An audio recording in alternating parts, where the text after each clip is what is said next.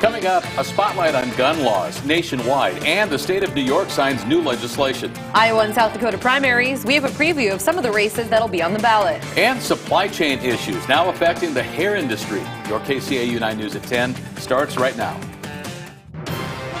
We are Siouxland proud. This is KCAU 9 News at 10. Good evening and thanks for being with us tonight. I'm Tim Seaman. And I'm Sophie Erber. Congress is back from a Memorial Day recess and new gun safety legislation, one of the first agenda items now to be taken up this week. Our KCAU 9 Washington correspondent Rashad Hudson is on Capitol Hill with a look at the negotiations. It's all inside our top story tonight at 10. Good evening. Lawmakers say they're closer than ever to reaching a deal on new gun safety measures. This comes as pressure is mounting for Congress to take action. The calls for gun control legislation were loud and clear on Capitol Hill Monday. Senators, please act. Don't look away. Gun safety advocates rallied outside of the Capitol demanding action from lawmakers. We will not stop working, we will not stop fighting until every community, every neighborhood, every school in this country is a safe place.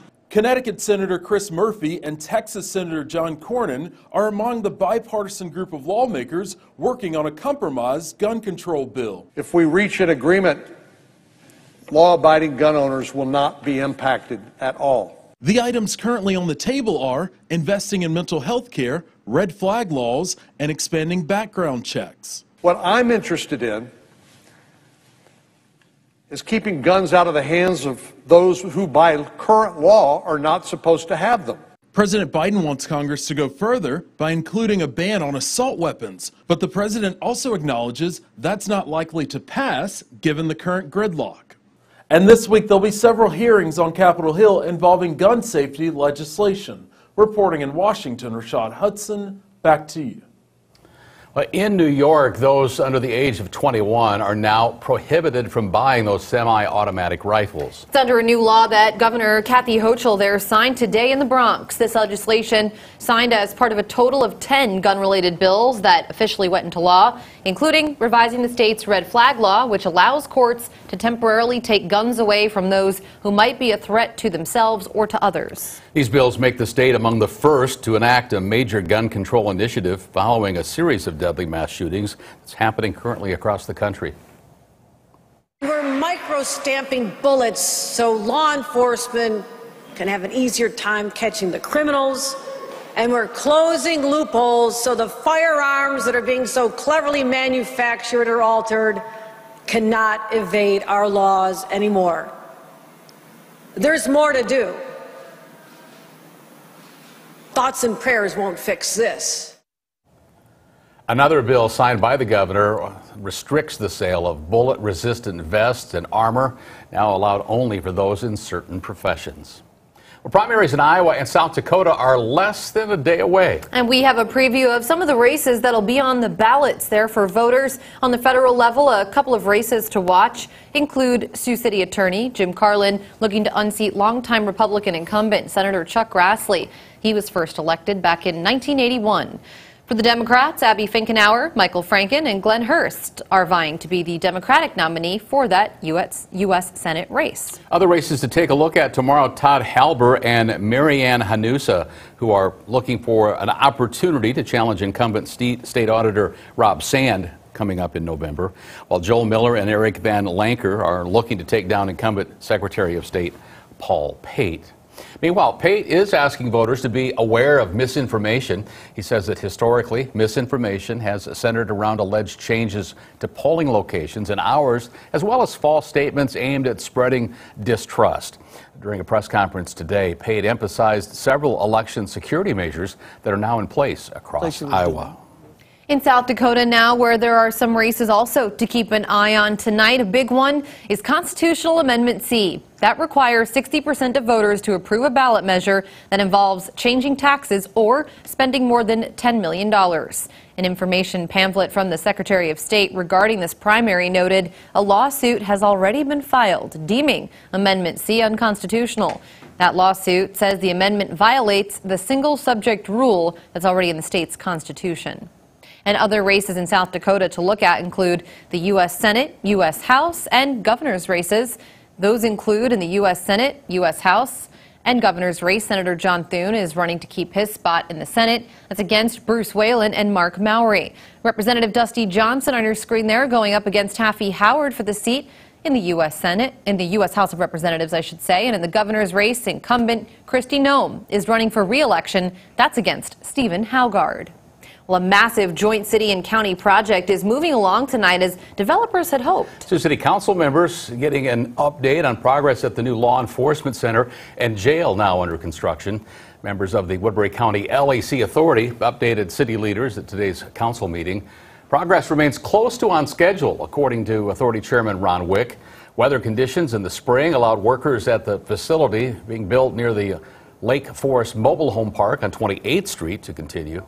Uh, Wieck says road construction in the area is still several months from being complete and that above ground work should bring uh, plenty of days of work ahead and be visible to folks in the coming days.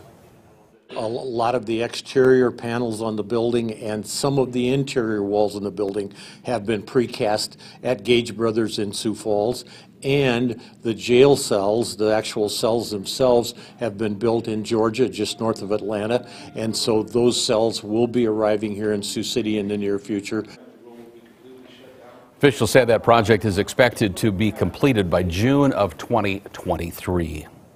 One Siouxland nonprofit is expanding tonight, and Governor Kim Reynolds made a visit to celebrate the occasion. Hope Street of Siouxland is committed to ending homelessness in Sioux City. They cut the ribbon there on their second facility. It's now on the 1900 block of Douglas Street. In attendance were members of City Council, Sioux City Police Chief Rex Mueller, and we spoke with Hope Street's very first participant, who is tonight celebrating three years sober and is a former house manager. Through the years of my drug addiction, I couldn't be trusted by anybody. Um, and now being able to be trusted, mostly employees, employers, uh, is a big thing for me. It's it's gotten me to believe in myself. So far, in the first three years, Hope Street has been able to help 31 people out of homelessness and on their way to living independently. Well, if you've noticed longer wait times and fewer hairstylists at your local salons and barbershops, you're not alone. KCAU 9 reporter Jason Tokhtasian tonight taking a look at what's causing the stylist shortage.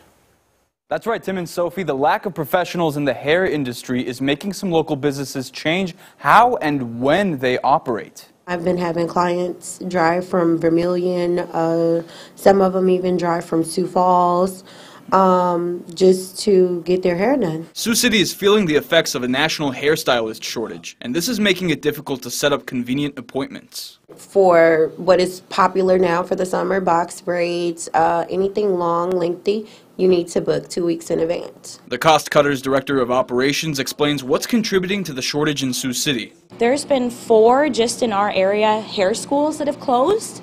So there's less people graduating, so that's affected staffing. Also, it's just taking longer to get through because through COVID, they had to shut down a lot, so people are graduating later. And now local stylists are changing their workflows. We have stylists that float, um, and so they'll actually have a home base, but they will float to a different location to fill in and help out. And with the changes to accommodate fewer stylists, folks like Williams are left to wonder if businesses can stay afloat. I don't think it's sustainable at all. I think that people who are relying on other stylists and barbers um, and they don't have that, it's becoming overwhelming. You're one person trying to fulfill all of these appointments, it's just not possible. Williams also told me she decided to launch a summer program that would teach teens and moms how to style their own hair. Now, if you're interested, you can find that information on our website at SiouxlandProud.com. Jason Tokhtasian, KCAU 9 News. All right, and uh, an interesting night. Not the best for hair, if I'm being honest, right. with the humidity uh, going on across Siouxland. You were telling us about dew points uh, into the 70s, Scott, earlier today. Yeah, it has been very humid outside, and it looks like that pattern's going to continue, so it could be a tough hair week. Might have to use some extra hairspray.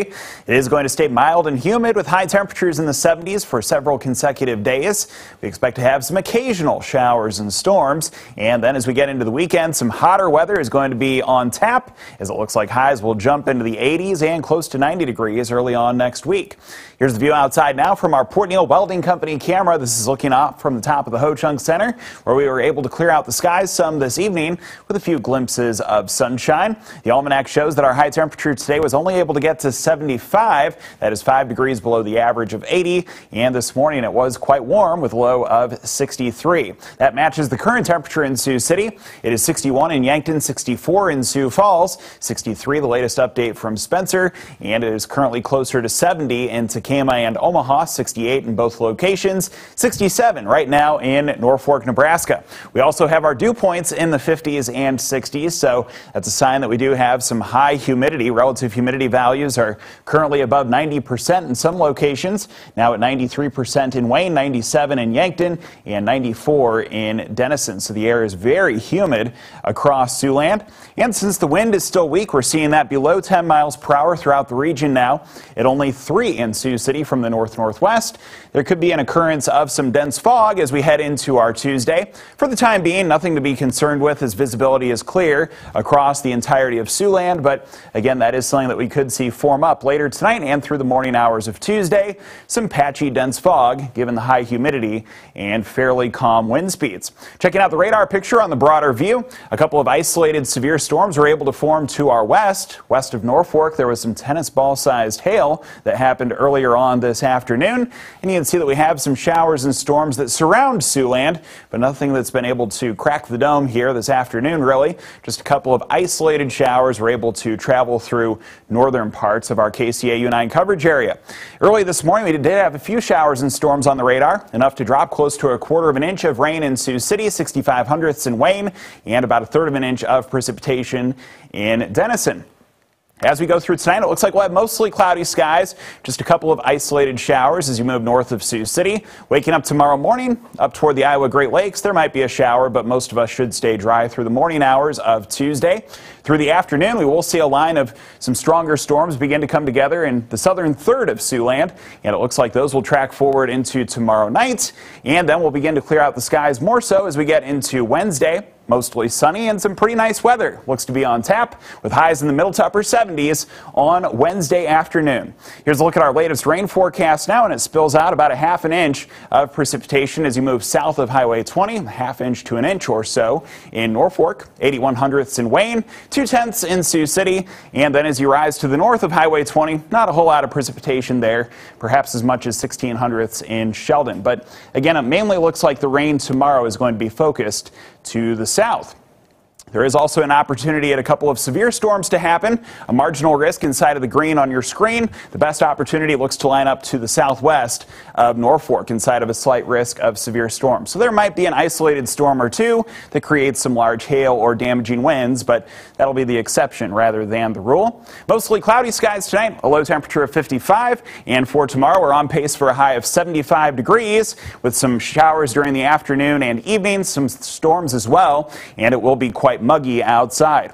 Here's a look at our 9 on 9 forecast. It shows the temperatures will stay in the 70s for a while. Wednesday, a pretty good day, mostly sunny, a high temperature of 76. Expecting to see some showers and storms Thursday and Friday, and then things quiet down as we heat up with highs in the 80s and even venturing close to 90 next Monday. Looking forward to drier and warmer uh, conditions, personally. Yeah, it should be pretty good. If it continues, you're going to have to add a, a kink and curl index as to how Yeah. folks' hair might look in this humidity. Yeah, some uh, some tough days for the hair for sure, especially with the high humidity in the short term. But some nice pool days shaping up for next week. All right, Scott, thanks a lot.